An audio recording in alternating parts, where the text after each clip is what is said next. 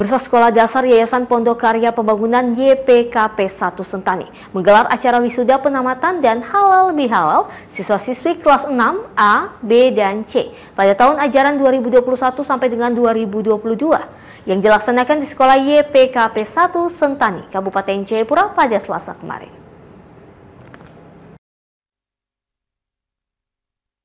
Dalam kegiatan penamatan dan pelepasan siswa-siswi SD YPKP 1 Sentani dihadiri oleh Ketua Yayasan Pondok Karya Pembangunan Sentani, Dinas Pendidikan, Ketua Komite YPKP 1 Sentani, para pengawas yayasan, kepala sekolah beserta guru YPKP 1, dan para orang tua siswa dan siswi.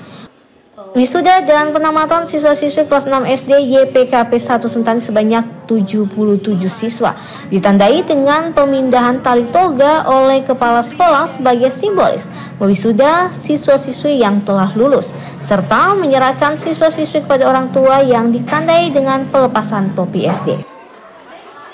Pada kesempatan tersebut, Kepala SD YPKP 1 Sentani Siti Subaida menyampaikan pesannya kepada para siswa-siswi yang diwisuda yang telah mengikuti ujian sekolah dengan baik dan lancar agar ke depannya dapat memajukan sekolah YPKP 1 dan menjadikan alma mater dengan baik serta menjadi anak yang soleha dan solehi dalam menuntut ilmu agar meraih cita-cita yang diinginkan dan semuanya mengikuti dengan baik, kegiatannya berjalan juga dengan baik. Semua siswa antusias mengikuti ujian sekolah. Bapak dan Ibu guru serta yang lainnya telah mendukung kegiatan ini baik dari dinas maupun dari yayasan telah mendukung kegiatan ini sehingga kegiatan ini berjalan baik dan aman lancar. Walaupun pandemi, tetapi kegiatan ini alhamdulillah terlaksana dengan baik. Semoga anak-anak YPKP 1 bisa memajukan sekolah ini dan menjadikan alma mater yang terbaik dan menjadi anak yang soleh dan solehah di dalam menuntut ilmu maupun di dalam belajar untuk menuntut ilmu yang diraihnya sesuai dengan cita-cita yang akan dicapai.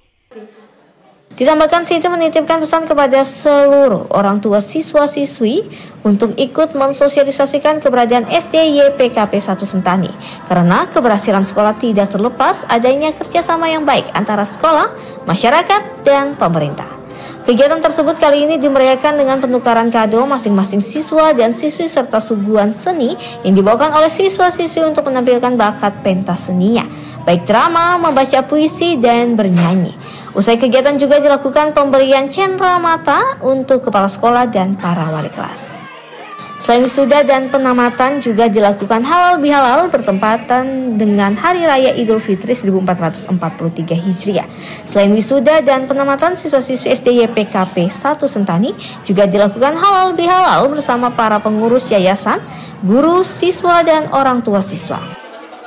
Dari Kabupaten Jayapura, Darul Mutakin, Ainus Jayapura melaporkan.